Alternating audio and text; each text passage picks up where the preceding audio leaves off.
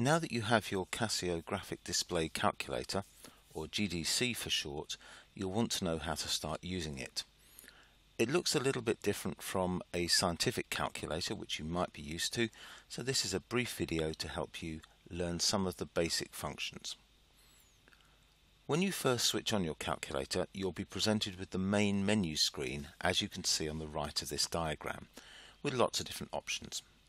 To move around the menu screen, you can use the cursor pad on the top right of your keyboard and scroll up, down, left and right to get around.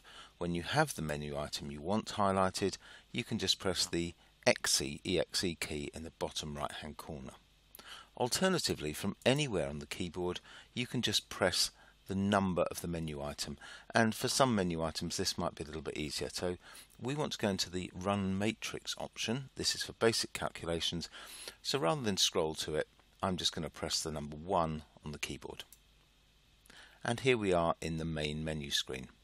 To perform a simple calculation, you can just do it as you would do on a normal calculator. So 2 times 3, we press 2 times 3, and the EXE button gives us the answer.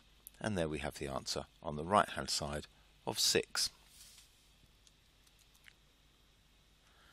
I just want to show you one more feature of the Run Matrix menu option. Um, say you had to work out the perimeter of a rectangle and you knew you were going to have to do this for a lot of different size rectangles. Um, you need to know the length and the width of that rectangle.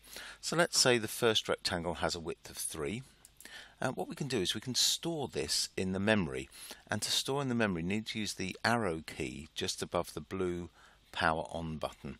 So we'll press the arrow key and then we're going to store this in the memory W for width. And the W the red W is just above the 3 to get to the letter rather than the number 3 we need to press the alpha key once to get us into the alphabet. So we'll press alpha and W and press exe and that's stored 3 as the width. Now let's say the length of the rectangle is 5. We'll do exactly the same for that. Press the 5, the arrow key and then alpha and the L which is also on the arrow key. And there we go. Now to work out the perimeter of the rectangle we need to add the width and length together and multiply by 2. So we'll just do that we'll put brackets around the W plus L part. So open brackets, alpha W plus alpha L, close brackets, times 2, exe. And that's given us the perimeter of the rectangle. Now let's say we had another rectangle we wanted to calculate and this one's substantially larger. This has a width of um, 15 and a length of 23. We can scroll back up to the line where we put 3 in as the width. Now we want to change the width to 15. So again using the cursor button just scroll left until you get to the 3.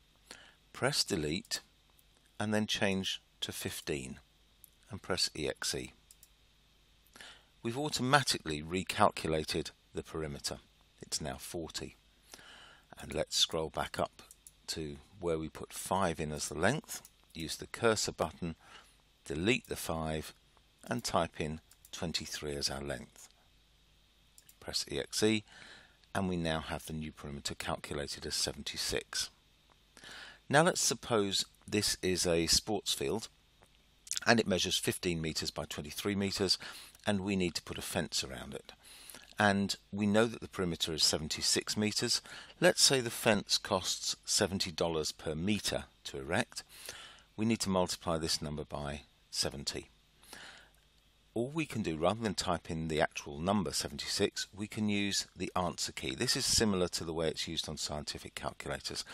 So we do shift and then answer above this negative sign here and times as the fence costs $70 per metre times 70 exe and that's the total cost of the fencing. Ah, we just realised we made a mistake. The length was meant to be 22, not 23. So let's just scroll back up to where the length was, scroll along, delete the 3 from the 23, put 22 in, press EXE and everything is recalculated. The perimeter is 74 and the cost is now 5,180. That's just a taste of what you can do with your calculator. There'll be some other videos that show you what some of the other menu options can do as well.